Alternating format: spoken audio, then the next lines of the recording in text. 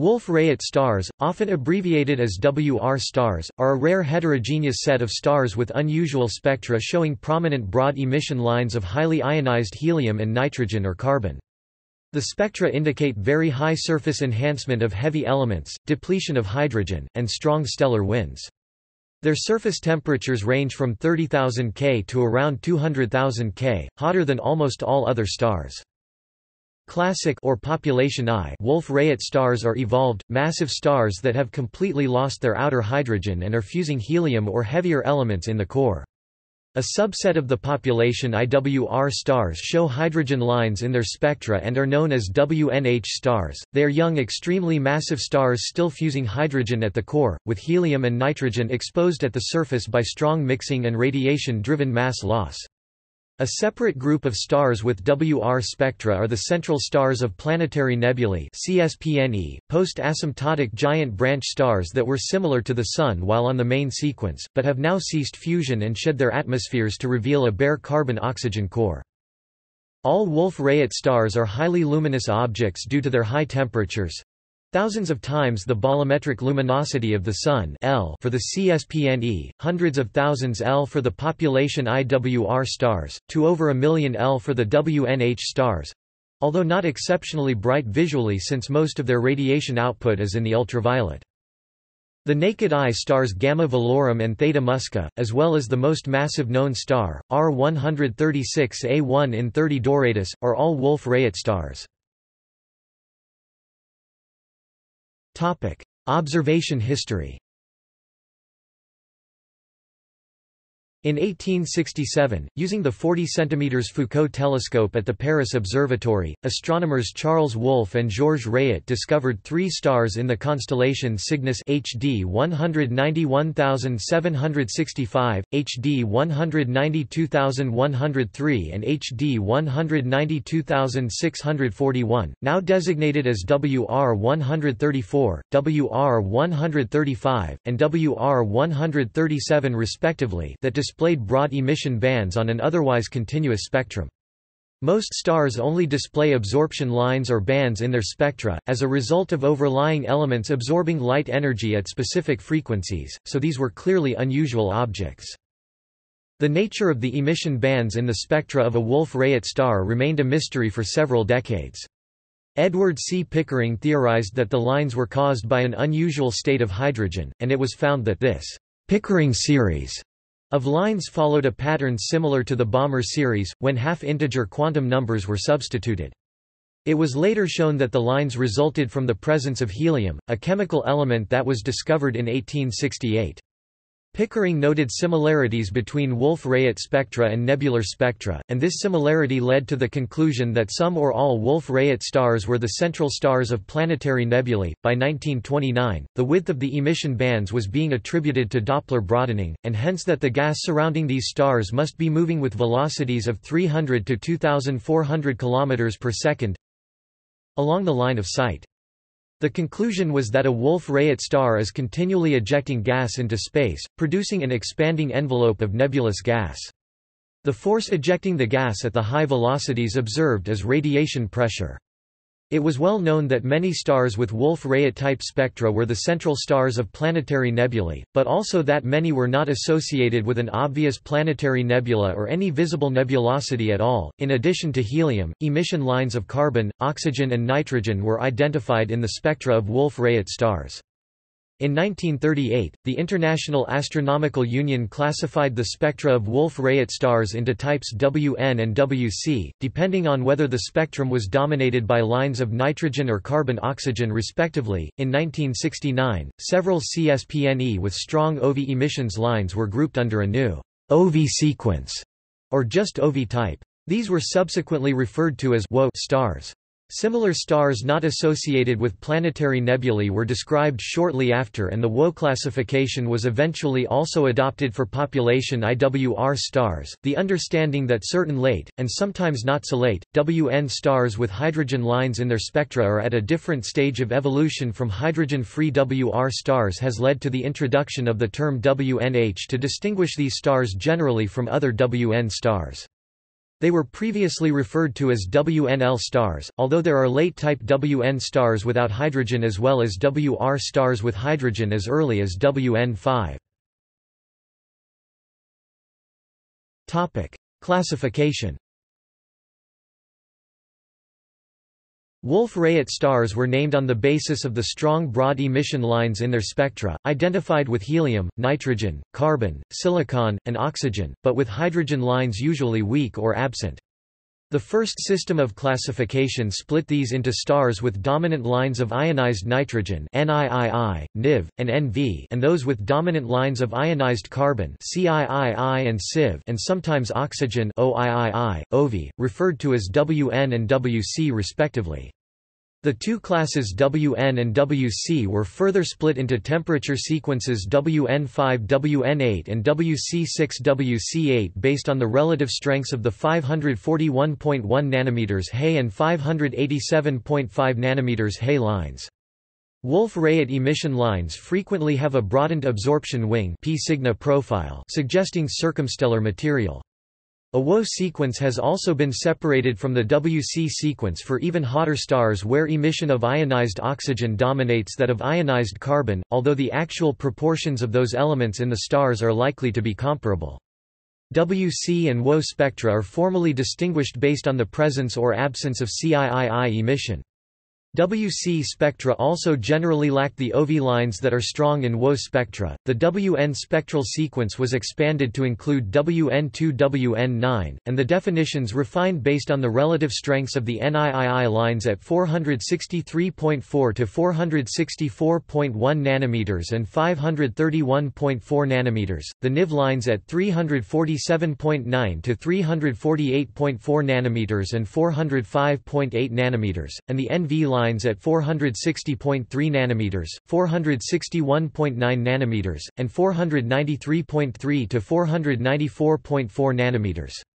These lines are well separated from areas of strong and variable He emission and the line strengths are well correlated with temperature. Stars with spectra intermediate between WN and OFPE have been classified as WN10 and WN11 although this nomenclature is not universally accepted. The type WN1 was proposed for stars with neither NIV nor NV lines, to accommodate Brey 1 and Brey 66 which appeared to be intermediate between WN2 and WN2.5. The relative line strengths and widths for each WN subclass were later quantified, and the ratio between the 541.1 1 nanometers He and 587.5 meters He lines was introduced as the primary indicator of the ionization level and hence of the spectral subclass. The need for WN1 disappeared and both Brey 1 and Brey 66 are now classified as WN3b. The somewhat obscure WN2.5 and WN4.5 classes were dropped. The WC spectral sequence was expanded to include WC4-WC11, although some older papers have also used WC1-WC3. The primary emission lines used to distinguish the WC subtypes are CII 426.7 nanometers, CIII at 569.6 nanometers, CIII, IV 465.0 nanometers, CIV at 580.1 to 581.2 nanometers, and the OV and OIII blend at 557.2 to 559.8 nanometers. The sequence was extended to include WC10 and WC11, and the subclass criteria were quantified based primarily on the relative strengths of carbon lines to rely on ionization factors even if there were abundance variations between carbon and oxygen.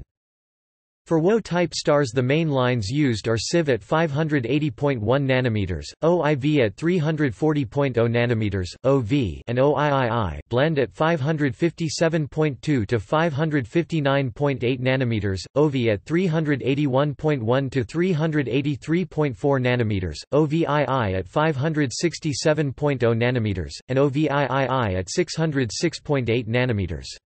The sequence was expanded to include WO5 and quantified based the relative strengths of the OV, CIV and OV, OV lines. A later scheme, designed for consistency across classical WR stars and CSPNE, returned to the WO1 to WO4 sequence and adjusted the divisions. Detailed modern studies of Wolf-Rayet stars can identify additional spectral features, indicated by suffixes to the main spectral classification. H for hydrogen emission. Ha for hydrogen emission and absorption. W for weak lines. S for strong lines. B for broad strong lines. D for dust occasionally VD, PD, or ED for variable, periodic, or episodic dust. The classification of Wolf-Rayet spectra is complicated by the frequent association of the stars with dense nebulosity, dust clouds, or binary companions. A suffix of plus OB is used to indicate the presence of absorption lines in the spectrum likely to be associated with a more normal companion star, or plus ABS. For absorption lines with an unknown origin, the hotter WR spectral subclasses are described as early and the cooler ones as late, consistent with other spectral types. WNE and WCE refer to early type spectra while WNL and WCL refer to late type spectra, with the dividing line approximately at subclass 6 or 7. There is no such thing as a late WO-type star. There is a strong tendency for WNE stars to be hydrogen-poor while the spectra of WNL stars frequently include hydrogen lines. Spectral types for the central stars of planetary nebulae are qualified by surrounding them with square brackets e.g. WC4. They are almost all of the WC sequence with the known WO stars representing the hot extension of the carbon sequence. There are also a small number of WN and WC, WN types, only discovered quite recently. Their formation mechanism is as yet unclear. Temperatures of the planetary nebula central stars tend to the extremes when compared to population IWR stars, so WC2 and WC3 are common and the sequence has been extended to WC12. The WC11 and WC12 types have distinctive spectra with narrow emission lines and no Hay and CIV lines. Certain supernovae observed before their peak brightness show WR spectra. This is due to the nature of the supernova at this point, a rapidly expanding helium-rich ejecta similar to an extreme Wolf-Rayet wind. The WR spectral features only last a matter of hours, the high ionization features fading by maximum to leave only weak neutral hydrogen and helium emission, before being replaced with a traditional supernova spectrum. It has been proposed to label these spectral types with an X, for example XWN5 H. Similarly, classical novae develop spectra consisting of broad emission bands similar to a Wolf-Rayet star. This is caused by the same physical mechanism, rapid expansion of dense gases around an extremely hot central source. Slash stars The separation of Wolf-Rayet stars from spectral class O stars of a similar temperature depends on the existence of strong emission lines of ionized helium, nitrogen, carbon, and oxygen, but there are a number of stars with intermediate or confusing spectral features. For example, high luminosity O stars can develop helium and nitrogen in their spectra with some emission lines, while some WR stars have hydrogen lines, weak emission, and even absorption components. These stars have been given spectral types such as O3 if, WN6 and are referred to as slash stars. Class O supergiants can develop emission lines of helium and nitrogen, or emission components to some absorption lines. These are indicated by spectral peculiarity suffix codes specific to this type of star. F for Ni and He emission F asterisk for N and He emission with NIV stronger than Ni F plus for emission in SIIV in addition to N and He Parentheses indicating Hay absorption lines instead of emission, e.g. F. Double parentheses indicating strong Hay absorption and Ni emission diluted, e.g. F+. These codes may also be combined with more general spectral type qualifiers such as P or A. Common combinations include OAP and OIF**, and OFPE. In the 1970s it was recognized that there was a continuum of spectra from pure absorption class O to unambiguous WR types, and it was unclear whether some intermediate stars should be given a spectral type such as O8IAFPE or WN8A. The slash notation was proposed to deal with these situations and the star SK-67 degrees 22 was assigned the spectral type O3 if asterisk, WN6A. The criteria for distinguishing OIF**, OIF**, WN, and WN stars have been refined for consistency. Slash star classifications are used when the H-beta line has a P Cygni profile, this is an absorption line in O supergiants and an emission line in WN stars. Criteria for the following slash star spectral types are given, using the nitrogen emission lines at 463.4 to 464.1 nanometers, 405.8 nanometers, and 460.3 to 462.0 nanometers, together with a standard star for each type. Another set of slash star spectral types is in use for OFPE, WN stars. These stars have O supergiant spectra plus nitrogen and helium emission, and P Cygni profiles. Alternatively they can be considered to be WN stars with unusually low ionization levels and hydrogen. The slash notation for these stars was controversial and an alternative was to extend the WR nitrogen sequence to WN10 and WN11 Other authors preferred to use the WNHA notation, for example WN9 hectares for WR108. A recent recommendation is to use an O spectral type such as O8 IAF if the 447.1 nm He line is in absorption and a WR class of WN9H or WN9 hectares if the line has a P Cygni profile. However, the OFPE, WN notation as well as WN10 and WN11 classifications continue to be widely used. A third group of stars with spectra containing features of both O-class stars and WR stars has been identified. Eight stars in the Large Magellanic Cloud have spectra that contain both WN3 and O3V features, but do not appear to be binaries. Many of the WR stars in the Small Magellanic Cloud also have very early WN spectra plus high excitation absorption features. It has been suggested that these could be a missing link leading to classical WN stars or the result of tidal stripping by a low-mass companion. Nomenclature The first three Wolf-Rayet stars to be identified, coincidentally all with hot O companions, had already been numbered in the HD catalog. These stars and others were referred to as Wolf-Rayet stars from their initial discovery but specific naming conventions for them would not be created until 1962 in the fourth catalogue of galactic Wolf-Rayet stars. The first three catalogues were not specifically lists of Wolf-Rayet stars and they used only existing nomenclature. The fourth catalogue numbered the Wolf-Rayet stars sequentially in order of right ascension. The fifth catalogue used the same numbers prefixed with Mr after the author of the fourth catalogue, plus an additional sequence of numbers prefixed with LS for new discoveries. Neither of these numbering schemes is in common use. The sixth catalogue of galactic Wolf-Rayet stars was the first to actually bear that name, as well as to describe the previous five catalogues by that name. It also introduced the WR numbers widely used ever since for galactic WR stars. These are again a numerical sequence from WR1 to WR158 in order of right ascension. The seventh catalogue and its annex use the same numbering scheme and insert new stars into the sequence using lower-case letter suffixes, for example WR102 Ka for one of the numerous WR stars discovered in the galactic center. Modern high-volume identification surveys use their own numbering schemes for the large numbers of new discoveries. An IAU working group has accepted recommendations to expand the numbering system from the catalogue of galactic Wolf-Rayet stars so that additional discoveries are given the closest existing WR number plus a numeric suffix in order of discovery. This applies to all discoveries since the 2006 Annex, although some of these have already been named under the previous nomenclature, thus WR42E is now numbered WR42-1. Wolf-Rayet stars in external galaxies are numbered using different schemes.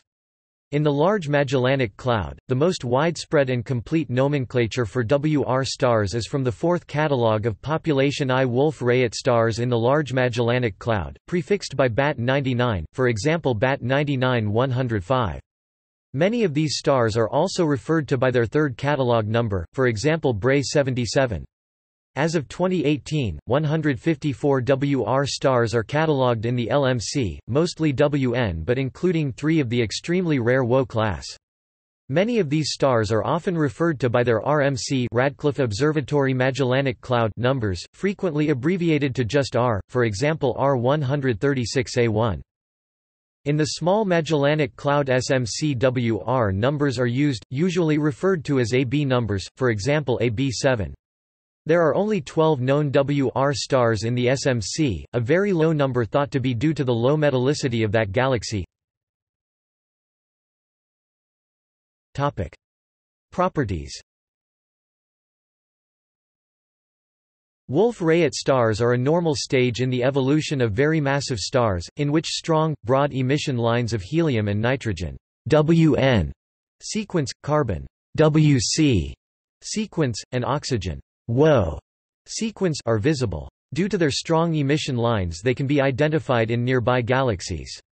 About 500 Wolf-Rayets are catalogued in our own Milky Way galaxy. This number has changed dramatically during the last few years as the result of photometric and spectroscopic surveys in the near-infrared dedicated to discovering this kind of object in the galactic plane. It is expected that there are fewer than 1,000 WR stars in the rest of the local group galaxies, with around 150 known in the Magellanic Clouds, 206 in M33, and 154 in M31. Outside the local group, whole galaxy surveys have found thousands more WR stars and candidates. For example, over a thousand WR stars have been detected in M101, from magnitude 21 to 25. WR stars are expected to be particularly common in starburst galaxies and especially Wolf-Rayet galaxies. The characteristic emission lines are formed in the extended and dense high-velocity wind region enveloping the very hot stellar photosphere, which produces a flood of UV radiation that causes fluorescence in the line-forming wind region. This ejection process uncovers in succession, first the nitrogen-rich products of CNO cycle burning of hydrogen WN stars, and later the carbon-rich layer due to He burning WC and WO-type stars. It can be seen that the WNH stars are completely different objects from the WN stars without hydrogen. Despite the similar spectra, they are much more massive, much larger, and some of the most luminous stars known. They have been detected as early as WN5H in the Magellanic Clouds. The nitrogen seen in the spectrum of WNH stars is still the product of CNO cycle fusion in the core, but it appears at the surface of the most massive stars due to rotational and convectional mixing while still in the core hydrogen burning phase, rather than after the outer envelope is lost during core helium fusion. Some Wolf-Rayet stars of the carbon sequence WC especially those belonging to the latest types, are noticeable due to their production of dust. Usually this takes place on those belonging to binary systems as a product of the collision of the stellar winds forming the pair, as is the case of the famous binary WR104, however this process occurs on single ones too. A few roughly 10% of the central stars of planetary nebulae are, despite their much lower typically approximately 0.6 solar masses, also observationally of the WR type, i.e. they show emission line spectra with broad lines from helium, carbon and oxygen. Denoted WR, they are much older objects descended from evolved low-mass stars and are closely related to white dwarfs, rather than to the very young, very massive population I stars that comprise the bulk of the WR class. These are now generally excluded from the class denoted as Wolf-Rayet stars, or referred to as Wolf-Rayet type stars. Metallicity The numbers and properties of Wolf-Rayet stars vary with the chemical composition of their progenitor stars. A primary driver of this difference is the rate of mass loss at different levels of metallicity. Higher metallicity leads to high mass loss, which affects the evolution of massive stars and also the properties of Wolf-Rayet stars. Higher levels of mass loss cause stars to lose their outer layers before an iron core develops and collapses, so that the more massive red supergiants evolve back to hotter temperatures before exploding as a supernova, and the most massive stars never become red supergiants. In the Wolf-Rayet stage, higher mass loss leads to stronger depletion of the layers outside the convective core, lower hydrogen surface abundances and more rapid stripping of helium to produce a WC spectrum.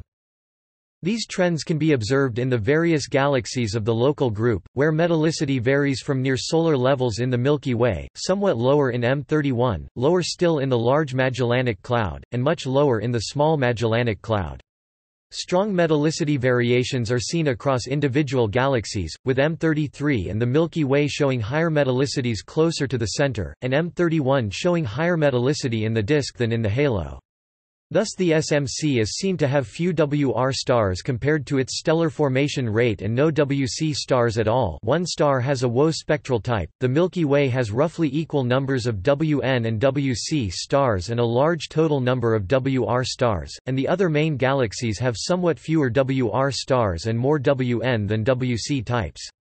LMC, and especially SMC, Wolf-Rayet have weaker emission and a tendency to higher atmospheric hydrogen fractions.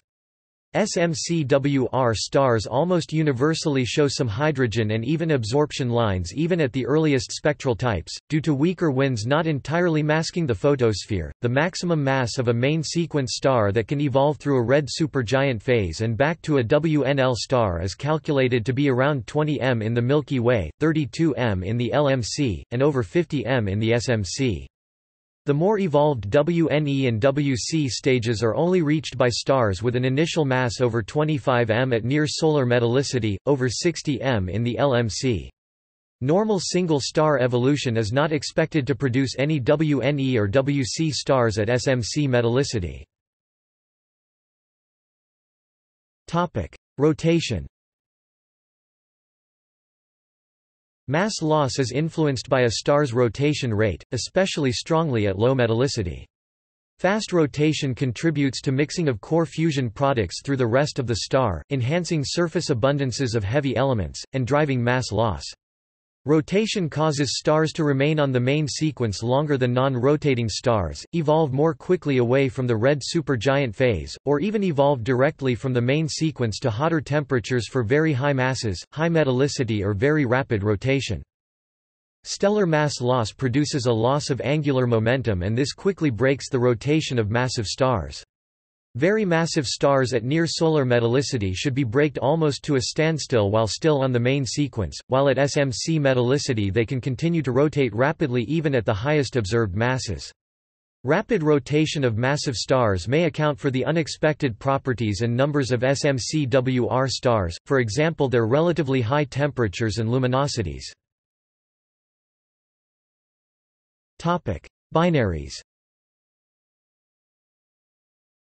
Massive stars in binary systems can develop into Wolf-Rayet stars due to stripping by a companion rather than inherent mass loss due to a stellar wind. This process is relatively insensitive to the metallicity or rotation of the individual stars and is expected to produce a consistent set of WR stars across all the local group galaxies. As a result, the fraction of WR stars produced through the binary channel, and therefore the number of WR stars observed to be in binaries, should be higher in low metallicity environments. Calculations suggest that the binary fraction of WR stars observed in the SMC should be as high as 98%, although less than half are actually observed to have a massive companion. The binary fraction in the Milky Way is around 20%, in line with theoretical calculations. Nebulae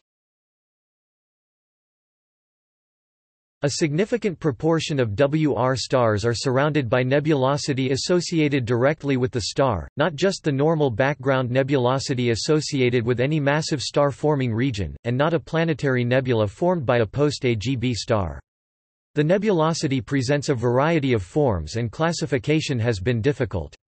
Many were originally catalogued as planetary nebulae and sometimes only a careful multi-wavelength study can distinguish a planetary nebula around a low-mass post-AGB star from a similarly shaped nebula around a more massive core helium-burning star. Wolf-Rayet galaxies A Wolf-Rayet galaxy is a type of starburst galaxy where a sufficient number of WR stars exist that their characteristic emission line spectra become visible in the overall spectrum of the galaxy.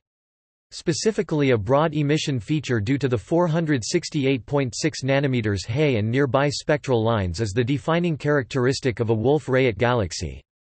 The relatively short lifetime of WR stars means that the starbursts in such galaxies must have lasted less than a million years and occurred within the last few million years, or else the WR emission would be swamped by large numbers of other luminous stars. Evolution Theories about how WR stars form, develop, and die have been slow to form compared to the explanation of less extreme stellar evolution. They are rare, distant, and often obscured, and even into the 21st century many aspects of their lives are unclear. Early ideas Although Wolf-Rayet stars have been clearly identified as an unusual and distinctive class of stars since the 19th century, the nature of these stars was uncertain until towards the end of the 20th century. By the 1960s it was clear that there were two very different groups of WR stars, luminous population I stars, and less luminous disk stars. The less luminous stars were associated with planetary nebulae and assumed to be mid-mass stars towards the end of the lives, but the evolutionary state of the population I stars was less clear. Their modest masses, high luminosities, and powerful stellar winds suggested that they were related to pre-main sequence stars such as T Tauri stars. Other astronomers, among them Rublev in 1965 and Conti in 1976 proposed that the WR stars as a class are descended from massive O stars in which the strong stellar winds characteristic of extremely luminous stars have ejected the unprocessed outer H-rich layers. By the 1980s, the idea of population IWR stars as the descendants of massive class O stars was widely accepted and work was concentrated on how the O stars could evolve into WR stars and what happened next. The proposal that massive stars passed through a period of intense mass loss near the Eddington limit to the stability of luminous stars became established and is still largely accepted as the origin of most WR stars. Luminous blue variables LBVs were identified as likely candidates near the upper luminosity limit and showing this intense mass loss which strips away much of their outer layers of the star. The difference between WN or WR and the spectral sequences of each was thought to be an evolutionary sequence from cooler and more luminous WN stars towards hotter and less luminous WC stars, and ultimately WO stars. The endpoint of this evolution was even identified as a type Ib supernova although the correlation between models and observations showed a number of problems with the theory. The coolest and most luminous WN stars were eventually identified as a distinct class of objects comprising the most massive hydrogen-burning stars rather than post-main sequence evolved stars. Current models Most WR stars, the classical population I-type, are now understood as being a natural stage in the evolution of the most massive stars not counting the less common planetary nebula central stars, either after a period as a red supergiant, after a period as a blue supergiant, or directly from the most massive main sequence stars. Only the lower mass red supergiants are expected to explode as a supernova at that stage, while more massive red supergiants progress back to hotter temperatures as they expel their atmospheres. Some explode while at the yellow hypergiant or LBV stage, but many become Wolf-Rayet stars. They have lost or burnt almost all of their hydrogen and are now fusing helium in their cores, or heavier elements for a very brief period at the end of their lives. Massive main sequence stars create a very hot core which fuses hydrogen very rapidly via the CNO process and results in strong convection throughout the whole star. This causes mixing of helium to the surface, a process that is enhanced by rotation, possibly by differential rotation where the core is spun up to a faster rotation than the surface. Such stars also show nitrogen enhancement at the surface at a very young age, caused by changes in the proportions of carbon and nitrogen due to the CNO cycle. The enhancement of heavy elements in the atmosphere, as well as increases in luminosity, create strong stellar winds which are the source of the emission line spectra. These stars develop an of spectrum, of asterisk if they are sufficiently hot, which develops into a WNH spectrum as the stellar winds increase further. This explains the high mass and luminosity of the WNH stars, which are still burning hydrogen at the core and have lost little of their initial mass.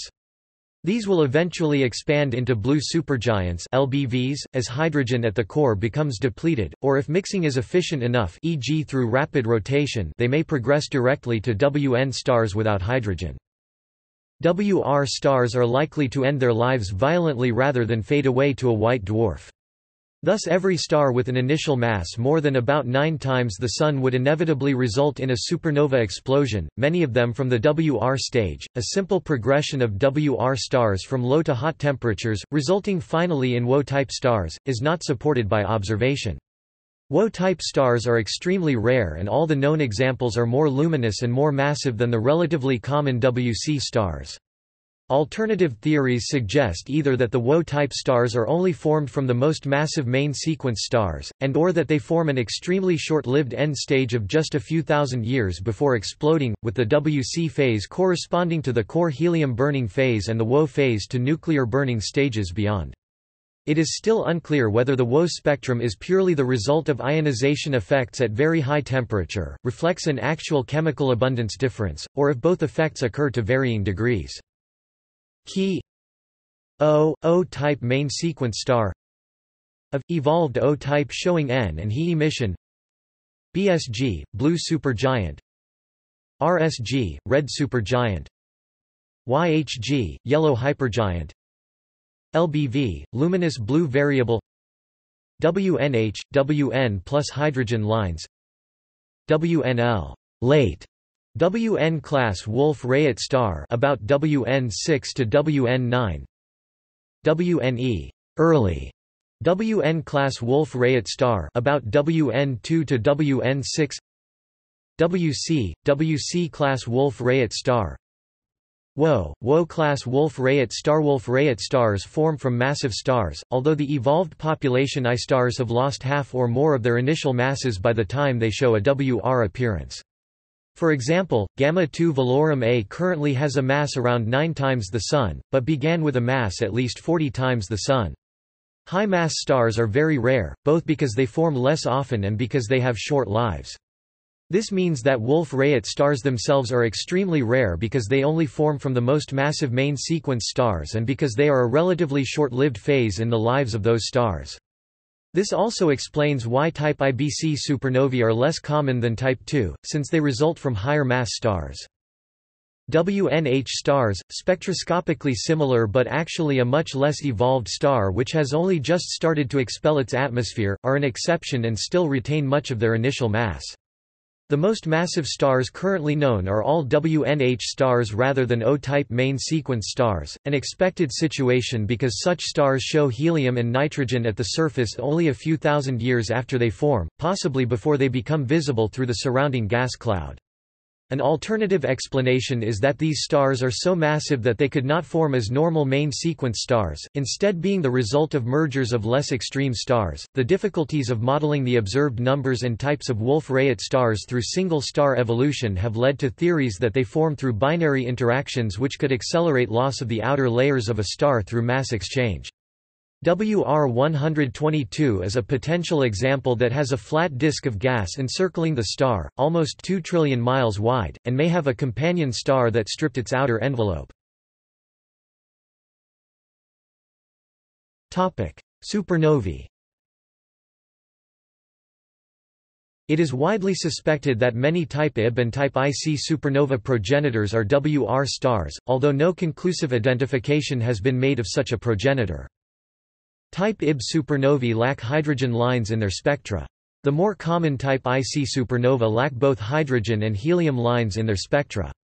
The expected progenitors for such supernova are massive stars that respectively lack hydrogen in their outer layers, or lack both hydrogen and helium. WR stars are just such objects. All WR stars lack hydrogen and in some WR stars, most notably the WO group, helium is also strongly depleted. WR stars are expected to experience core collapse when they have generated an iron core, and resulting supernova explosions would be of type Ib or IC. In some cases it is possible that direct collapse of the core to a black hole would not produce a visible explosion. WR stars are very luminous due to their high temperatures but not visually bright, especially the hottest examples that are expected to make up most supernova progenitors. Theory suggests that the progenitors of type IBC supernovae observed to date would not be bright enough to be detected, although they place constraints on the properties of those progenitors. One candidate is under observation as pre-outburst observations show a likely WR star at the site of IPTF 13BVN, although this is disputed. Examples By far the most visible example of a Wolf-Rayet star is Gamma 2 Velorum WR11, which is a bright naked eye star for those located south of 40 degrees northern latitude, although most of the light comes from an O7.5 giant companion. Due to the exotic nature of its spectrum bright emission lines in lieu of dark absorption lines it is dubbed the spectral gem of the southern skies.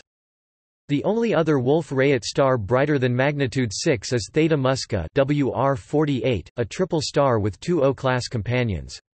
Both are WC stars. The X WR star WR79A HR 6272 is brighter than magnitude 6 but is now considered to be a peculiar O8 supergiant with strong emission. The next brightest at magnitude 6.4 is WR22, a massive binary with a WN7H primary. The most massive and most luminous star currently known, R136A1, is also a Wolf-Rayet star of the WNH type that is still fusing hydrogen in its core.